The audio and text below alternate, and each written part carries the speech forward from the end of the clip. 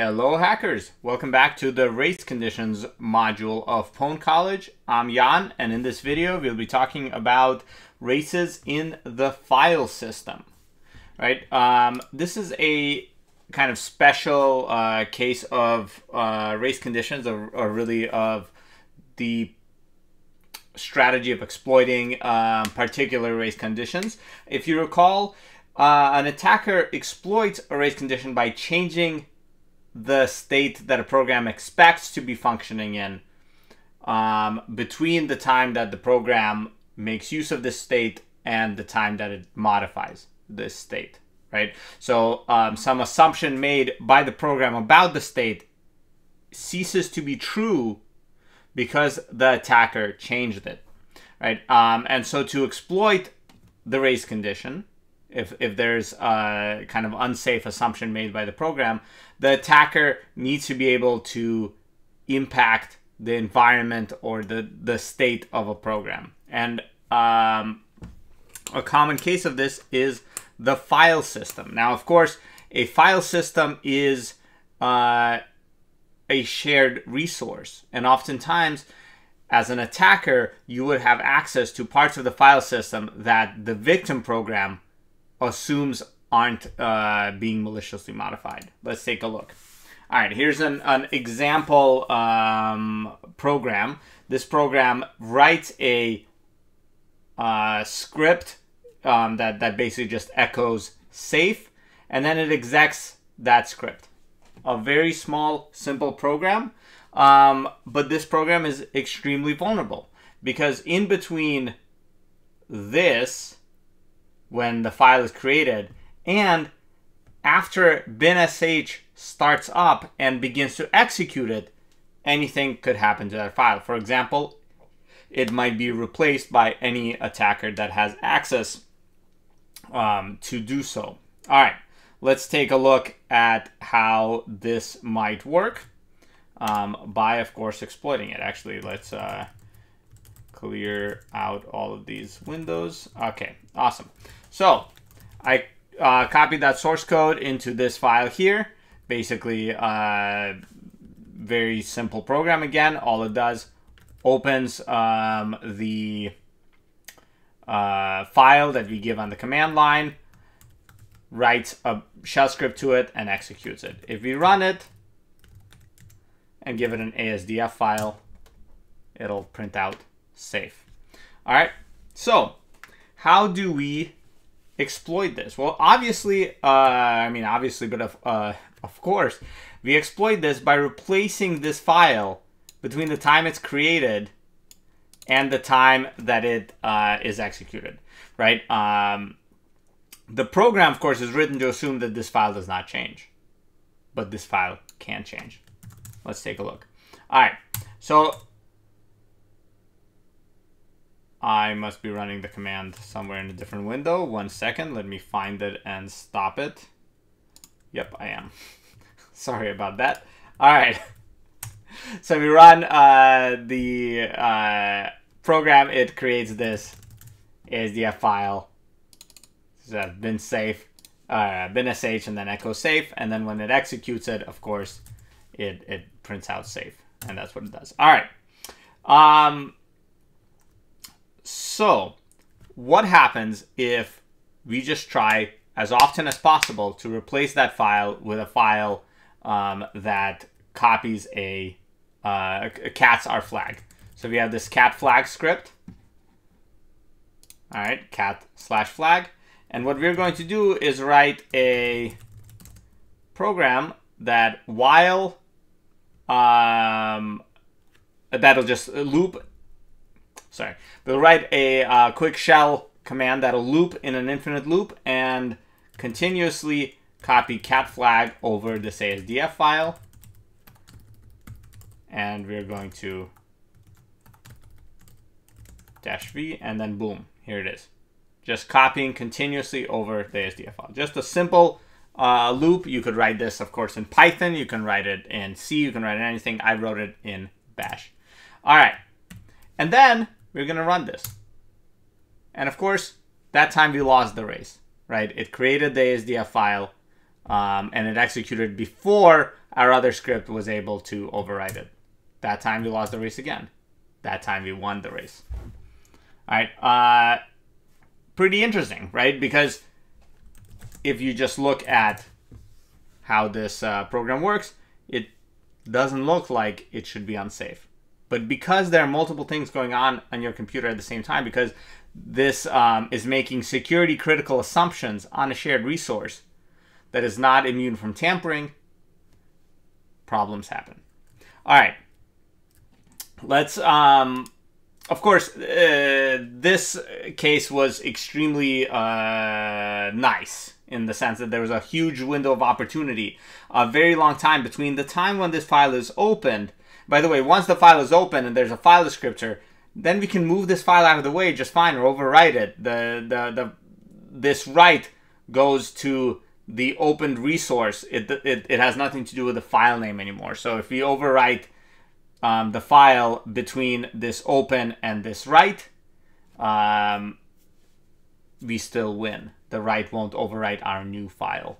Um, and basically, as long as we overwrite this file between the time it's opened and between the time when after binsh initializes itself, which takes a long time, many system calls, etc., all of that uh, Linux binary loading, um, and it finally opens the shell script that it wrote. We have all of that time to replace that shell script with our attack. All right, so let's tighten up that race.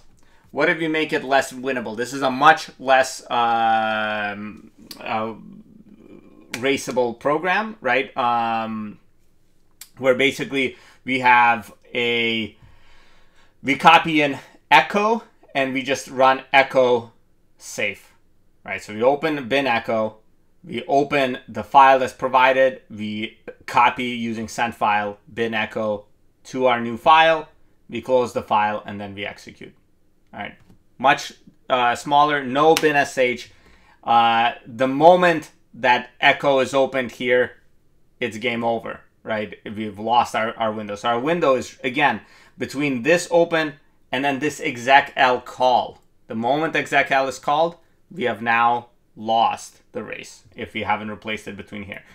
Obviously, this uh, window is much smaller. There's no SH initialization, um, so it'll be much tougher to win.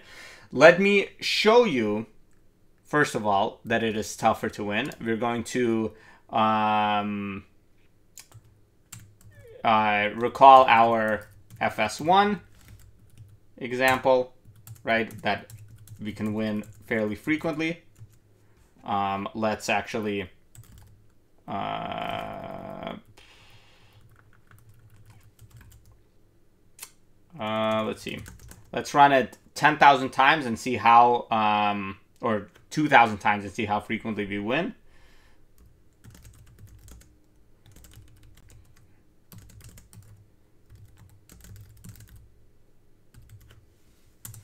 Okay, here we go. I'm going to write this to a file called output. Then I'm going to use some commands to figure out that we win about half of the time. So we ran it 2,000 times. About half of the time, our uh, attack running in this other window won the game for us. Over half the time. That time, obviously, there's some noise uh, depending on what else my system is doing and so forth. So that was this uh, the original this this first example. We won half the time. Let's see the second example. How often we win that with just this simple attack. Obviously, this is the I, I, I implemented that uh, example as well here, um, and we expect to see a uh, less successful uh, attack. Let's give that a try. Instead of FS1, let's do FS2. And so right away you can see there's a lot less say uh, Pwn College, a lot less flags leaked. Um, and specifically, V1 out of 2,000 times, only 45 times, right? Let's try that again. Only 48 times, so that's fairly stable, right? We win much, much, much fewer of those races. So how can we do better? Well, the general idea is to slow things down and specifically slow down the victim program, this vulnerable program, if you make it run slower, if you make it take longer between this and this, then um, we'll open that vulnerable window more. So let's see a couple of options. One option is reducing the scheduling priority of this process. There are um, uh, several ways to do this. Linux provides a utility and a system call. The utility, of course, uses this system call called nice.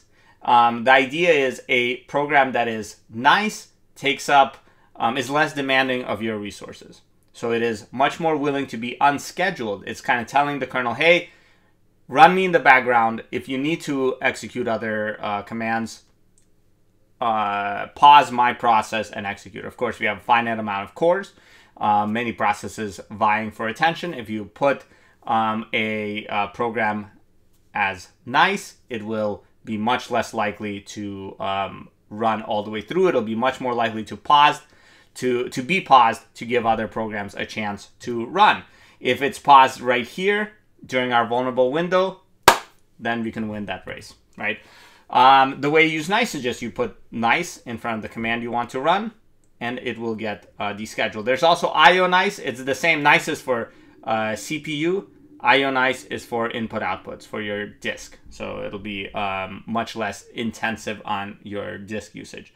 So let's um, take a look at what this does to our success. So here we do 2,000 times, but now we will put nice in front of this. We still have the attack running in the background, copying cat flag over ASDF. Let's run this. Uh, and that did not help. It really depends. Really depends on what your machine is doing. I would not sure if there's a statistically significant uh, factor. Nice takes um, a priority between negative 20 which is uh, very um, very high priority. I know it's confusing. It's a negative number, but it is uh, schedule me at all times. I absolutely need to run. And 19. And uh, by default, if you just do nice, it'll put 10. 19 tells you, you know, just don't schedule me. Only schedule me uh, if, you know, the computer isn't doing anything else, etc. Um, and it's not having a significant, statistically significant effect. Looks like we win. Four, uh, 33, yeah, these aren't, let's see uh, about Ionize. Ionize has a um, class, class uh, 1, 2, and 3. 3 basically just says use IO only when we are idle. Let's see if that it didn't seem to have helped. It did not help. Um, well, depending on uh, what else the computer is doing, so let's actually... Um,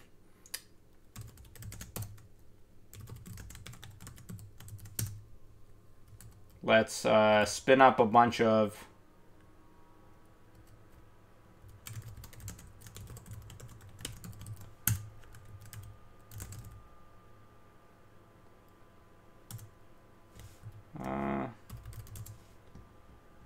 Nope. I'll spin up a bunch of... Uh, hard, uh, loops in C. Alright, now we're using more CPU. So maybe nice will actually have some effect, unlike on a completely... Uh, not really. Okay, let's use up all of my CPU. Hopefully it'll still encode this video that I'm recording.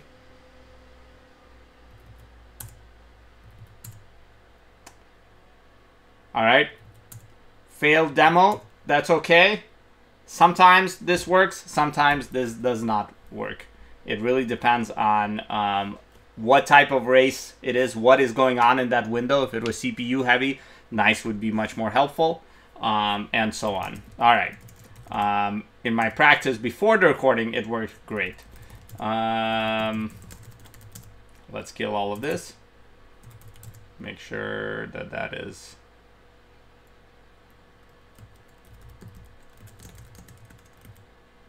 Um, that did not... All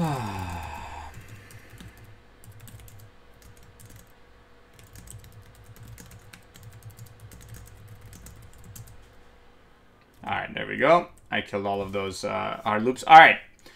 Um, unfortunately, uh, no nice first. Let's see if actually nice should do nicely for our uh, first one. So again, we run, uh, we win about half of the races of the first one without nice. Um, this one that, that actually calls bin sh and so forth. And with nice,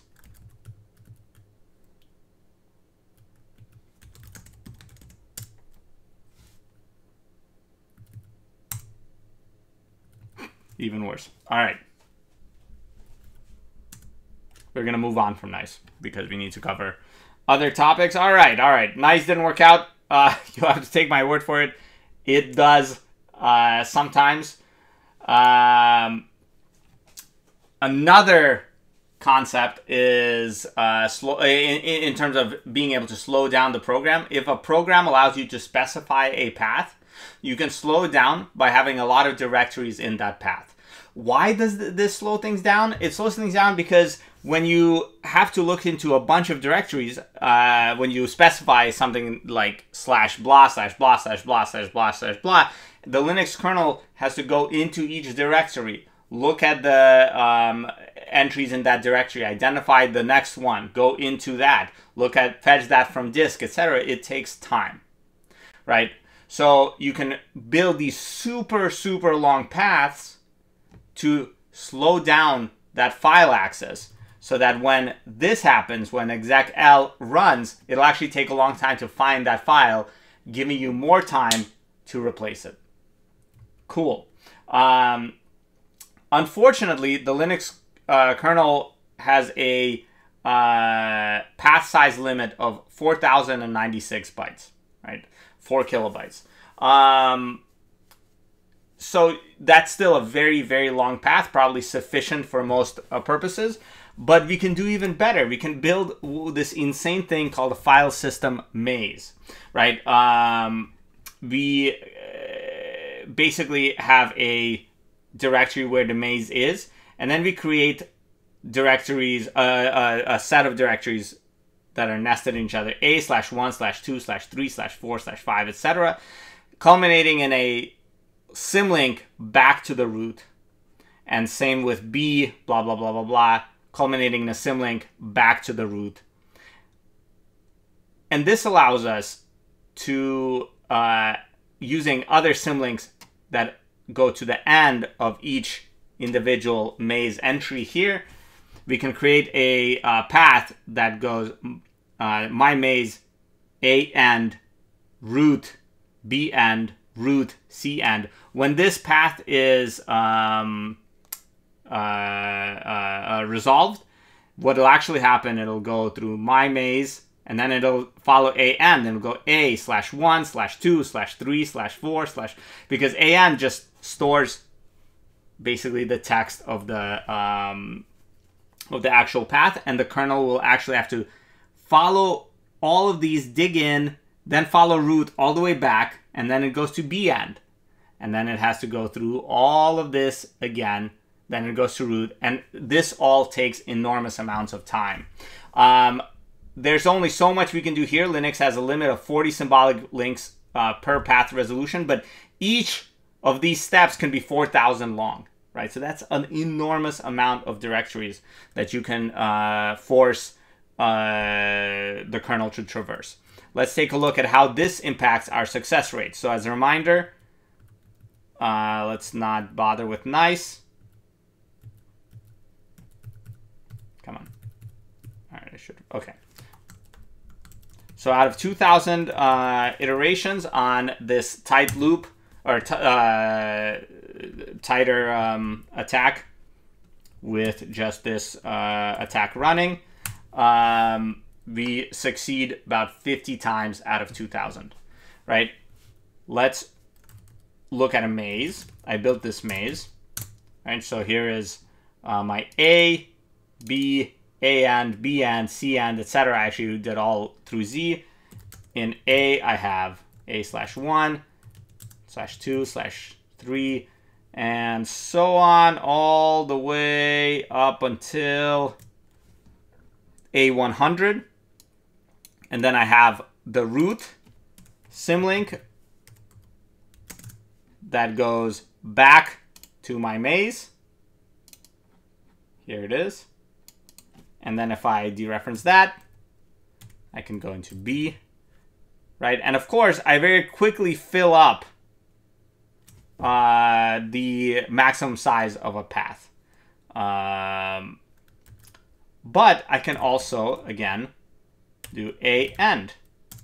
And that has, that goes all the way to the end of A, and there's a root thing there, so I can do a end slash root, b end slash root, c end slash root, d end slash root, e end slash root, f end slash root, g end slash root, e slash root.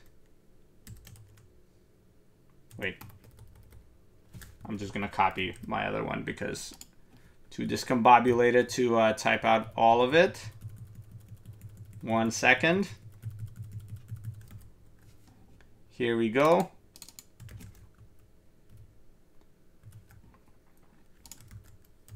Let's get out of the maze, bring up what I was executing, and then this exact same thing can be done here. So I go into the maze, I go to A end, back out to the root of the maze, B end, back out to the root, C end, and so on. I go here up until S end, back to the root T end. I think this basically makes it 40 symbolic links. Again, there's a limit of 40. You can make it deeper. Each entry in the root, I only went up to 100, but that's not 4,000 bytes, obviously. So I could probably go deeper, but this is sufficient. This, traversing this maze and then all the way back out and then reading that ASDF file that I've been overwriting is going to take time. So again, before we succeeded 50 times out of 2,000. Let's see what happens now. You can see quite a lot more flags flying. Boom. We upped our success rate by a factor of 5. And we can, of course, make that maze even deeper to slow down the program more to um, get things even more reliable. The takeaway is if you want to win races more effectively, you need to find ways to slow down the program. Um, file system uh, races are super, super relevant. In fact, these uh, bugs occur to this day. These aren't uh, archaic uh, bugs that, that, that we're talking about historically. Last year, there was a time of check, time of use vulnerability found in Ubuntu's crash reporting system.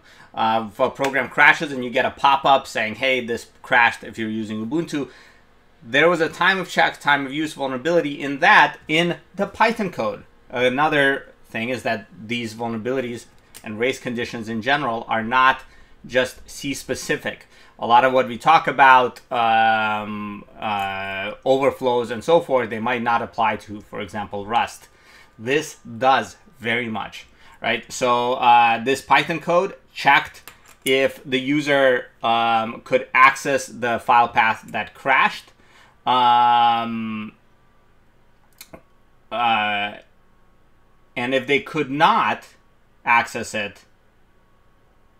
If they, sorry, if they could not access it, it creates a, a, a, new report file for the crash. If they can access it, then it goes in here and just parses it, uh, uh, happily parses it, assuming that the user has permissions. Of course, this is done at a different time than this, and there's an attack window in between. So the exploit, of course, is to make sure that the path is accessible to trigger the else condition, then quickly symbolically link whatever that was pointing to to something else that you want to read. Um, And using this, you can read out arbitrary files in the file system, for example, for the purposes of this class slash flag. Um, so I hope I've convinced you that these uh, vulnerabilities are real. Um, but I'm sure that all the practice problems you'll see will do a much better job convincing you of that than I can right now.